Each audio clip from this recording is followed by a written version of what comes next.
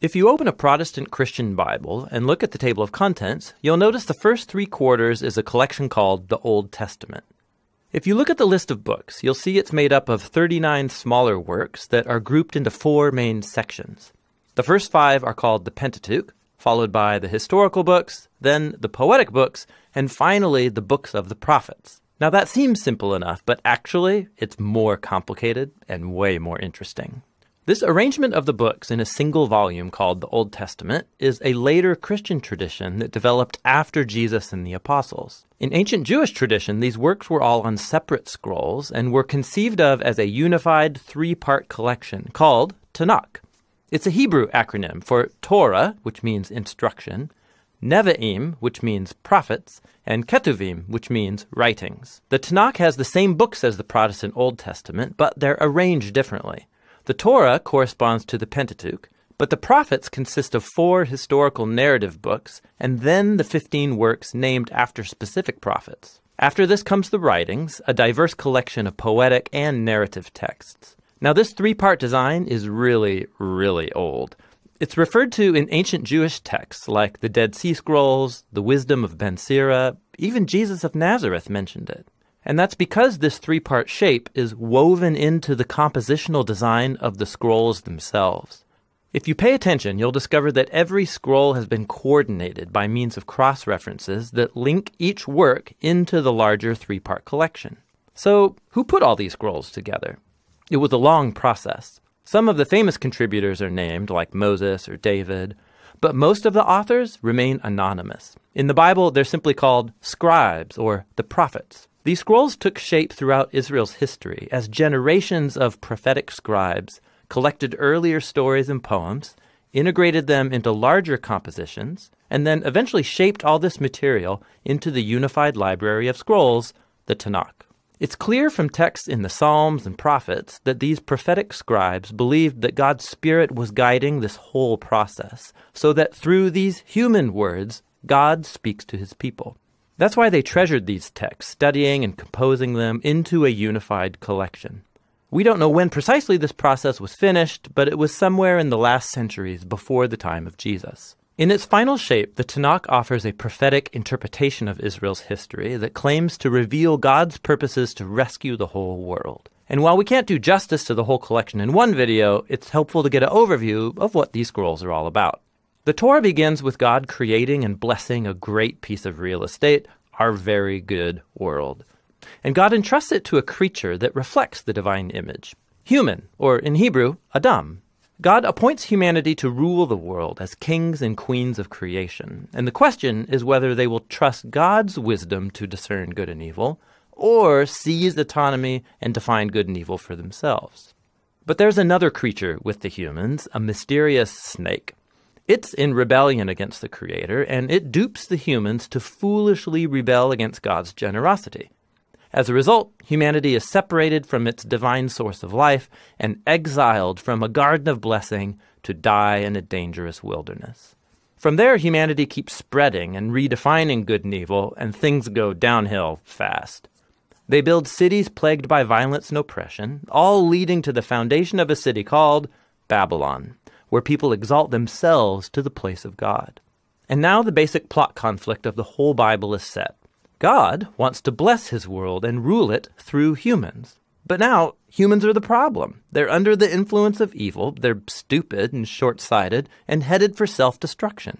And this is all a setup for God's solution we need a new kind of human. And so God promises that a new human will come who won't give in to the snake. In fact, he'll crush it and be crushed by it. From here, the story traces the promised lineage to a man and a woman, Abraham and Sarah. God entrusts them with the same divine blessing given to humanity on page one.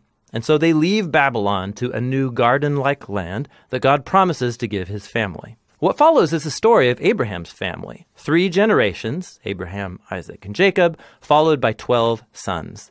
And our hopes are high until we read their very dysfunctional and destructive family story. They lie, cheat, nearly kill each other, not to mention the sex scandals. But what did you expect after the garden story? They're humans. Eventually, Abraham's family ends up exiled down in Egypt. All these failures of Abraham's family form a dark background for the handful of bright moments in the story. God stays committed to these people. He even makes them an eternal promise called a covenant that he will rescue and bless all humanity through them. How exactly isn't clear, but Abraham's family is at its best when they stop their selfish scheming and trust God's promise with radical faith. From here, the family grows. They end up enslaved in Egypt, and we're introduced to the Torah's other main character, Moses. God raises him up to rescue the Israelites and bring them to a mountain where they're all invited into a covenant relationship with God. They're given 613 terms of the relationship, guidelines for becoming new kinds of humans who will faithfully represent God to the world. And Moses brokers this whole deal because he's awesome. He's the ultimate prophet who speaks God's word to Israel. He's a priest who represents them before God, and he's even called a king, Israel's leader and deliverer in time of need. But as the Torah progresses, the Israelites fail big time. They violate the covenant, and even Moses rebels against God. In fact, the Torah ends with Moses predicting that Israel's failure will continue as they go back into the promised land and they're going to end up in exile once again. But he has hope that God will fulfill his promise to rescue Israel. One day he will cover for their failures. He'll heal their selfish hearts so they can truly love God and live. And then Moses dies. Now, the final sentences of the Torah scroll are surprising. They zoom forward in time, and we hear from the prophetic scribes who shaped the Tanakh. They reflect back on the story of Moses from their vantage point, and they tell us that never again in Israel's history did a prophet like Moses arise. Man, I wish another prophet, priest, king like him would come along. And with that, we move into the Nevi'im. It has two sub collections. First, the former prophets, four narrative works about Israel's story in the Promised Land, told from the later perspective of the prophets.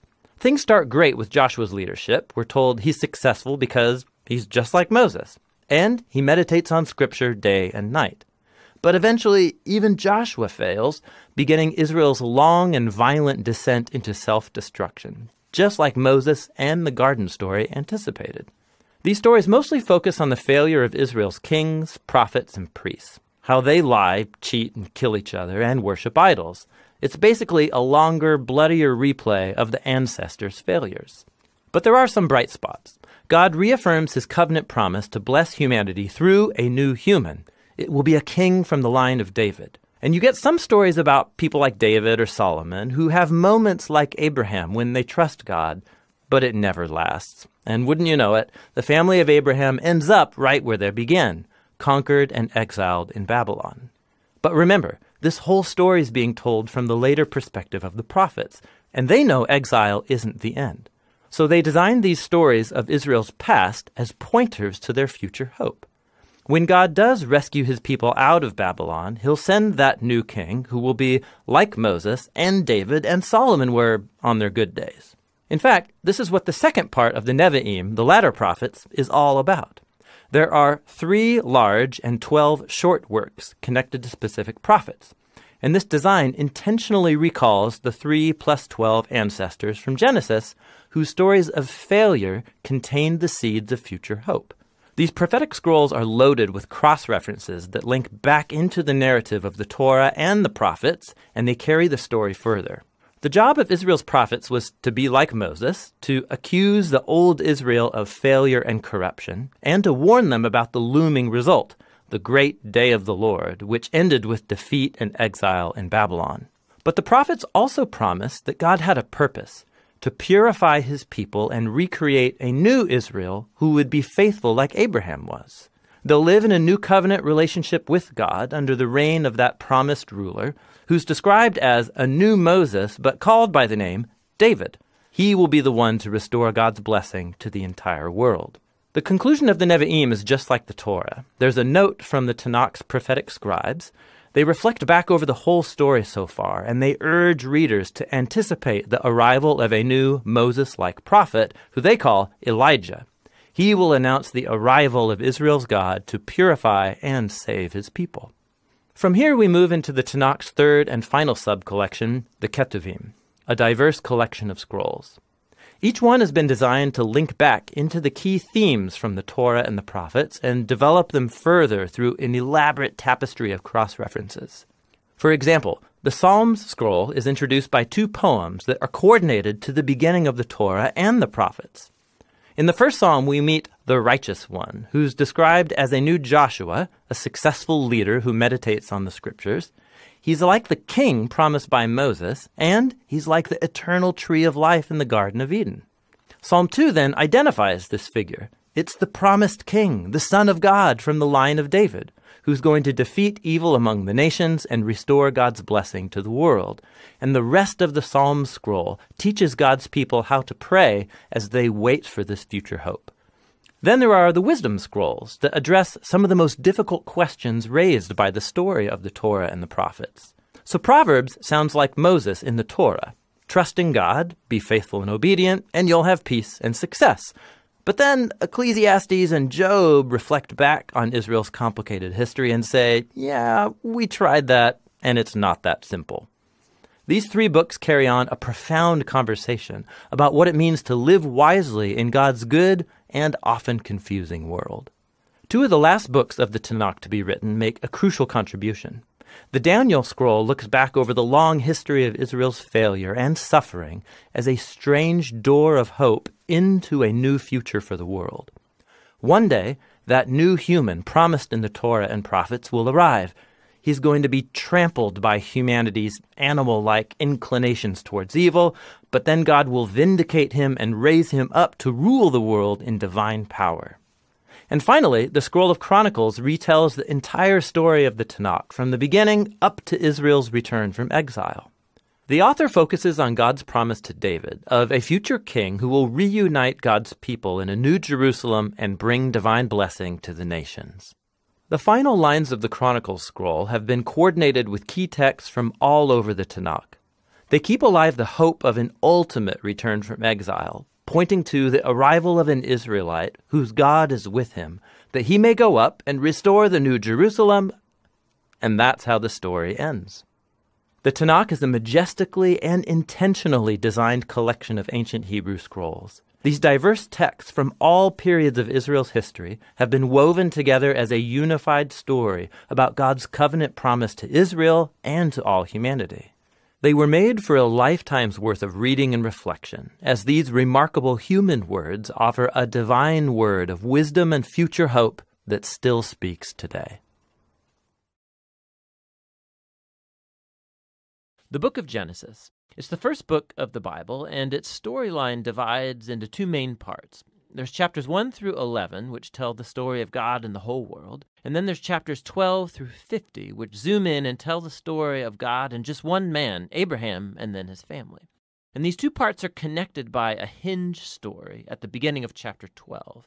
And this design, it gives us a clue to how to understand the message of the book as a whole and how it introduces the story of the whole Bible. So the book begins with God taking the disorder and the darkness described in the second sentence of the Bible, and God brings out of it order and beauty and goodness. He makes a world where life can flourish. And God makes these creatures called humans, or Adam in Hebrew. He makes them in his image, which has to do with their role and purpose in God's world. So the humans are made to be reflections of God's character out into the world, and they're appointed as God's representatives to rule his world on his behalf. Which in context means to harness all of its potential, to care for it, and make it a place where even more life can flourish. God blesses the humans. It's a key word in this book. And he gives them a garden. It's like a place from which they begin starting to build this new world. Now, the key is that the humans have a choice about how they're going to go about building this world. And that's represented by the tree of the knowledge of good and evil. Up till now, God has provided and defined what is good and what is not good. But now God is giving the humans the dignity and the freedom of a choice. Are they going to trust God's definition of good and evil, or are they going to seize autonomy and define good and evil for themselves? And the stakes are really high. To rebel against God is to embrace death because you're turning away from the giver of life himself. This is represented by the tree of life. And so in chapter 3, a, mysterious figure, a snake, enters into the story.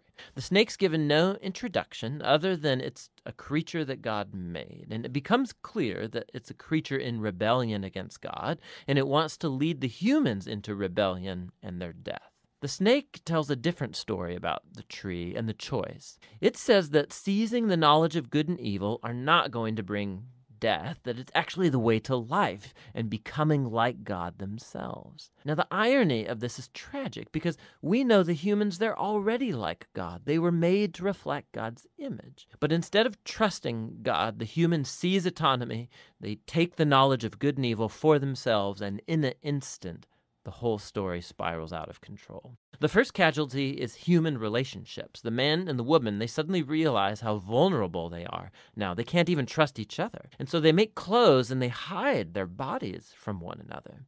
The second casualty is that intimacy between God and the humans is lost. So they go and run and hide from God, and then when God finds them, they start this game of blame shifting about who rebelled first. Now, right here, the story stops, and there's a series of short poems where God declares to the snake and then to the humans the tragic consequences of their actions. God first tells the snake that despite its apparent victory, it is destined for defeat to eat dust.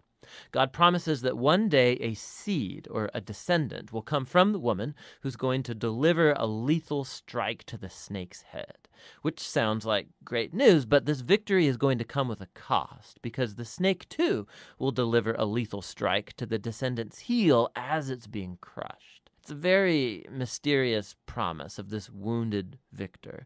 But in the flow of the story so far, you see this is an act of God's grace. The humans, they've just rebelled, and what does God do? He promises to rescue them. But this doesn't erase the consequences of the humans' decision. So God informs them that now every aspect of their life together, at home and out in the field, it's going to be fraught with grief and pain because of the rebellion, all leading to their death. From here, the story then spirals downward. Chapters 3 through 11, they trace the widening ripple effect of the rebellion and of human relationships fracturing at every level. So there's a story about two brothers, Cain and Abel.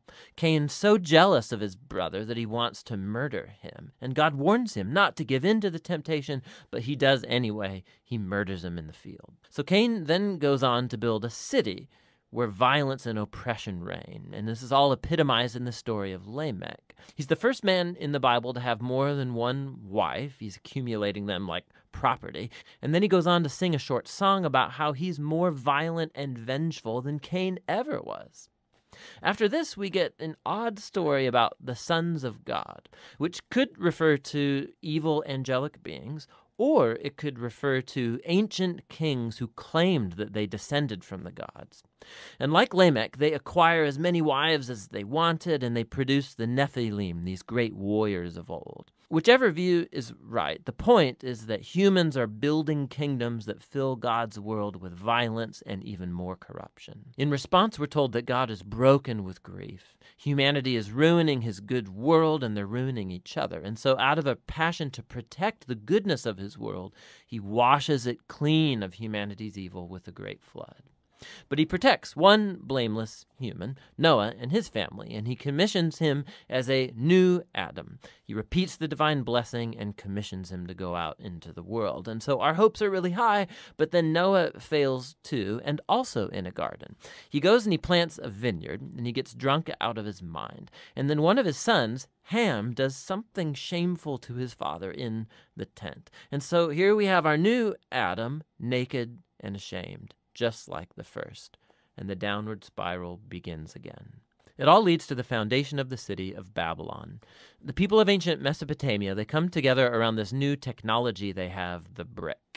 And they can make cities and towers bigger and faster than anybody's ever done before. And they want to build a new kind of tower that will reach up to the gods and they will make a great name for themselves. It's an image of human rebellion and arrogance. It's the garden rebellion now writ large. And so God humbles their pride and scatters them.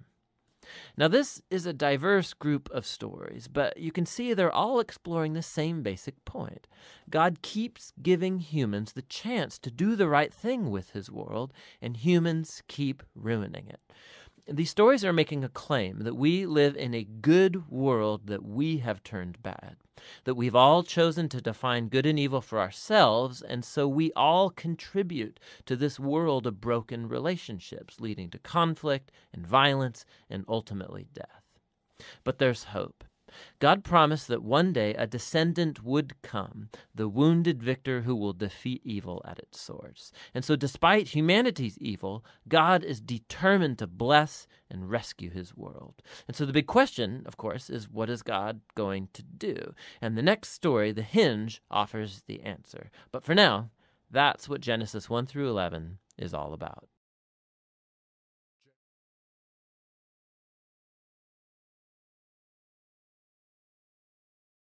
Genesis, Genesis 1. In the beginning, God created the heavens and the earth. The earth was without form and void, and darkness was over the face of the deep. And the Spirit of God was hovering over the face of the waters. And God said, Let there be light. And there was light. And God saw that the light was good, and God separated the light from the darkness. God called the light day, and the darkness he called night. And there was evening, and there was morning the first day. And God said, Let there be an expanse in the midst of the waters, and let it separate the waters from the waters. And God made the expanse, and separated the waters that were under the expanse from the waters that were above the expanse. And it was so. And God called the expanse heaven. And there was evening, and there was morning, the second day. And God said, Let the waters under the heavens be gathered together into one place, and let the dry land appear. And it was so. God called the dry land earth, and the waters that were gathered together he called seas. And God saw that it was good. And God said, Let the earth sprout vegetation, plants yielding seed, and fruit trees bearing fruit in which is their seed, each according to its kind on the earth. And it was so. The earth brought forth vegetation, plants yielding seed according to their own kinds, and trees bearing fruit in which is their seed, each according to its kind. And God saw that it was good. And there was evening, and there was morning, the third day. And God said, Let there be lights in the expanse of the heavens to separate the day from the night and let them be for signs and for seasons and for days and years. And let them be lights in the expanse of the heavens to give light upon the earth. And it was so. And God made the two great lights, the greater light to rule the day, and the lesser light to rule the night, and the stars. And God set them in the expanse of the heavens to give light on the earth, to rule over the day and over the night, and to separate the light from the darkness. And God saw that it was good. And there was evening, and there was morning the fourth day. And God said, Let the waters swarm with swarms of living creatures, and let birds fly above the earth across the expanse of the heavens.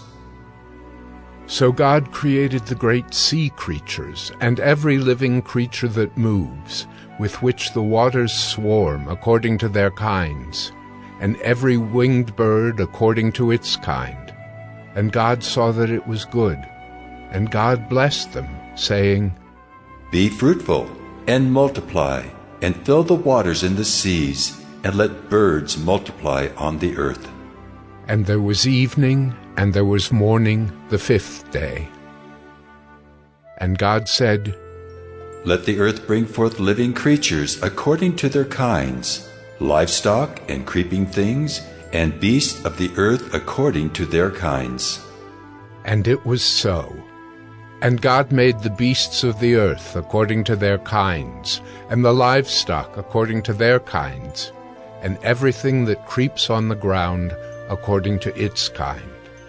And God saw that it was good. Then God said, Let us make man in our image, after our likeness, and let them have dominion over the fish of the sea, and over the birds of the heavens, and over the livestock, and over all the earth, and over every creeping thing that creeps on the earth. So God created man in his own image. In the image of God he created him. Male and female he created them. And God blessed them. And God said to them, Be fruitful and multiply, and fill the earth and subdue it, and have dominion over the fish of the sea, and over the birds of the heavens, and over every living thing that moves on the earth. And God said, Behold, I have given you every plant yielding seed that is on the face of all the earth, and every tree with seed in its fruit. You shall have them for food. And to every beast of the earth, and to every bird of the heavens, and to everything that creeps on the earth, everything that has the breath of life, I have given every green plant for food. And it was so. And God saw everything that he had made, and behold, it was very good. And there was evening, and there was morning, the sixth day. Genesis 2 Thus the heavens and the earth were finished, and all the host of them. And on the seventh day God finished his work that he had done, and he rested on the seventh day from all his work that he had done. So God blessed the seventh day and made it holy, because on it God rested from all his work that he had done in creation. These are the generations of the heavens and the earth when they were created, in the day that the Lord God made the earth and the heavens. When no bush of the field was yet in the land, and no small plant of the field had yet sprung up, for the Lord God had not caused it to rain on the land, and there was no man to work the ground. And a mist was going up from the land, and was watering the whole face of the ground. Then the Lord God formed the man of dust from the ground, and breathed into his nostrils the breath of life. And the man became a living creature. And the Lord God planted a garden in Eden, in the east, and there he put the man whom he had formed. And out of the ground the Lord God made to spring up every tree that is pleasant to the sight and good for food. The tree of life was in the midst of the garden, and the tree of the knowledge of good and evil. A river flowed out of Eden to water the garden and there it divided and became four rivers. The name of the first is the Pishon. It is the one that flowed around the whole land of Havilah, where there is gold. And the gold of that land is good. Bdellium and onyx stone are there. The name of the second river is the Gihon. It is the one that flowed around the whole land of Cush. And the name of the third river is the Tigris, which flows east of Assyria. And the fourth river is the Euphrates. The Lord God took the man and put him in the Garden of Eden to work it and keep it. And the Lord God commanded the man, saying, You may surely eat of every tree of the garden, but of the tree of the knowledge of good and evil you shall not eat for in the day that you eat of it, you shall surely die. Then the Lord God said, It is not good that the man should be alone. I will make him a helper fit for him. Now, out of the ground the Lord God had formed every beast of the field and every bird of the heavens, and brought them to the man, to see what he would call them. And whatever the man called every living creature, that was its name. The man gave names to all livestock, and to the birds of the heavens, and to every beast of the field. But for Adam there was not found a helper fit for him. So the Lord God caused a deep sleep to fall upon the man, and while he slept, took one of his ribs and closed up its place with flesh. And the rib that the Lord God had taken from the man he made into a woman, and brought her to the man. Then the man said, This at last is bone of my bones, and flesh of my flesh. She shall be called woman, because she was taken out of man. Therefore, a man shall leave his father and his mother, and hold fast to his wife, and they shall become one flesh. And the man and his wife were both naked, and were not ashamed. Genesis 3 Now the serpent was more crafty than any other beast of the field that the Lord God had made. He said to the woman, Did God actually say, You shall not eat of any tree in the garden? And the woman said to the serpent, We may eat of the fruit of the trees in the garden, but God said, You shall not eat of the fruit of the tree that is in the midst of the garden, neither shall you touch it, lest you die. But the serpent said to the woman, You will not surely die, for God knows that when you eat of it, your eyes will be opened, and you will be like God, knowing good and evil. So when the woman saw that the tree was good for food, and that it was a delight to the eyes, and that the tree was to be desired to make one wise, she took of its fruit and ate. And she also gave some to her husband who was with her, and he ate. Then the eyes of both were opened, and they knew that they were naked. And they sewed fig leaves together, and made themselves loincloths. And they heard the sound of the Lord God walking in the garden in the cool of the day. And the man and his wife hid themselves from the presence of the Lord God among the trees of the garden. But the Lord God called to the man and said to him, Where are you? And he said, I heard the sound of you in the garden, and I was afraid, because I was naked, and I hid myself. He said, Who told you that you were naked? Have you eaten of the tree of which I commanded you not to eat? The man said, The woman whom you gave to be with me, she gave me fruit of the tree, and I ate. Then the Lord God said to the woman, What is this that you have done? The woman said, The serpent deceived me, and I ate. The Lord God said to the serpent, Because you have done this, cursed are you above all livestock, and above all beasts of the field. On your belly you shall go, and dust you shall eat all the days of your life. I will put enmity between you and the woman, and between your offspring and her offspring.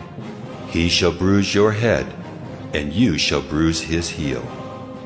To the woman he said, I will surely multiply your pain in childbearing. In pain you shall bring forth children. Your desire shall be for your husband, and he shall rule over you. And to Adam he said, Because you have listened to the voice of your wife, and have eaten of the tree of which I commanded you, you shall not eat of it. Cursed is the ground because of you. In pain you shall eat of it all the days of your life. Thorns and thistles it shall bring forth for you, and you shall eat the plants of the field. By the sweat of your face you shall eat bread, till you return to the ground, for out of it you were taken. For you are dust, and to dust you shall return. The man called his wife's name Eve, because she was the mother of all living. And the Lord God made for Adam and for his wife garments of skins, and clothed them. Then the Lord God said, Behold, the man has become like one of us in knowing good and evil. Now, lest he reach out his hand and take also of the tree of life and eat, and live forever. Therefore the Lord God sent him out from the Garden of Eden to work the ground from which he was taken. He drove out the man, and at the east of the Garden of Eden he placed the cherubim and a flaming sword that turned every way to guard the way to the tree of life.